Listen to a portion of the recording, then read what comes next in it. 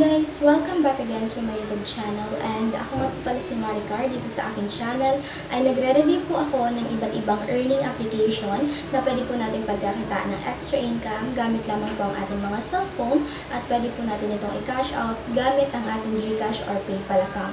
Kaya kung gusto nyo kumita ng extra income, panoorin nyo itong video na to and don't forget to subscribe, like, share, and hit the notification bell para lagi po kayong updated sa mga bago kong upload. So ayun guys, without further ado, let's go to the video.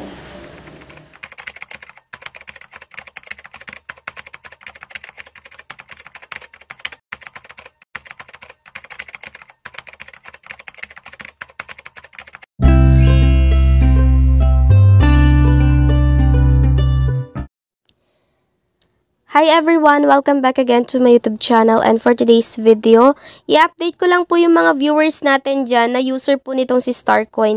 Doon kasi sa nakaraang video ko, hindi ko na mahanap yung comment. May nabasa ako doon na sabi wala daw sa Play Store si Starcoin at hindi na daw niya natatanggap yung perang na i-cash out niya dito. Well, titingnan natin since hindi ko na din naman to nare-review.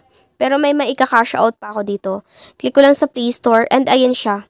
Nung pagka-search ko, nakita ko naman, andito pa rin naman siya sa Play Store. Searchable pa rin siya. Ayan pa rin si Starcoin, oh. Diba? Kahit i-search natin siya, ayan pa rin, oh.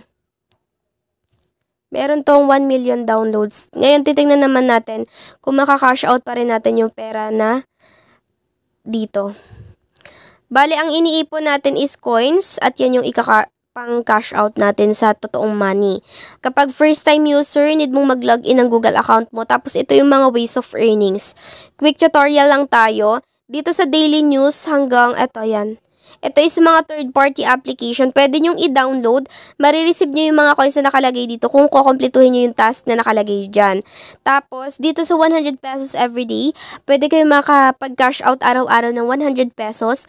Kaya lang dapat may na-invite kayo at least 10 to 12 person na gagamit ng inyong referral code. Kasi nag-e-expired po yan kailangan nyo makaipon ng 100 pesos within 24 hours. Kapag hindi pa kayo nakaipon ng 100 pesos within 24 hours at tatapos na yung oras nyo, hindi nyo yan makakash out. Tapos dito sa Get More na yung MM Mall tsaka Time Mall, to pares lang sila naglalaman ng third-party application na ida-download nyo, kompletuhin yung task para maka-receive ng coins. Dito sa naman sa may check, ito naman survey siya. Pwede kayong kumita ng coins sa pagkukompleto at pagsagot ng mga basic survey nila.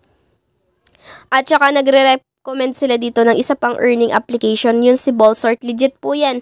Kahit wala po kayong, uh, kahit yung balance nyo is piso pa lang, pwede nyo nang makash out. Kasi yung pinaka-minimum nila is 20 centavos. Yan, pwede na kayo mag-cash out. Pwede din dito mag-invite sa gusto lang naman. Since option na lang naman siya, makakapag-cash out pa rin kayo kahit wala kayong na-invite. Per person na gagamit ng referral code nyo or referral link nyo, automatic may 100 coins kayo. Tapos, makaka-receive pa kayo ng 30% of all coins sa mga earn friends na na-invite nyo.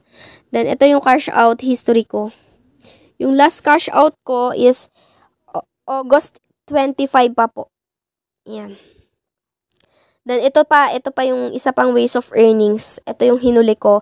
Yung playtime nila. Magda-download ka dito ng mga third-party application game. Tapos, kung ano yung nakalagay dyan, kung paano siya yung kitaan niya, per task ba, per level, or per minute.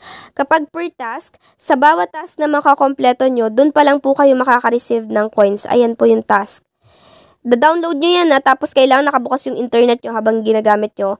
Kapag per level naman po, ang ibig sabihin po nun, kada level na natatapos nyo sa game, doon pa lang kayo makaka-receive ng coins. Kapag per minute naman po yung kitaan, ang ibig sabihin po nun ay kada isang minuto po na lumilipas, doon pa lang po kayo makaka-earn ng coins. So, kahit hindi nyo siya nilalaro, kahit hindi nyo siya ginagamit, basta nakabukas po yung application, nakabukas yung internet connection nyo, kikita pa rin kayo ng coins kada isang minuto. Bali, yun lang naman yung ways of earnings, then mag-cash out na tayo. Meron silang minimum na pwede nyo makash out agad-agad, kaya lang isang beses nyo lang makacash out yan. Kapag na-cash out nyo na yan, mawawala na po siya sa pagpipilian natin. Ang matitira na lang po is 5 pesos, 20 pesos, 50, 200, and 500. Ito namang mga to, kahit ilang beses nyo yan i-cash out is okay lang.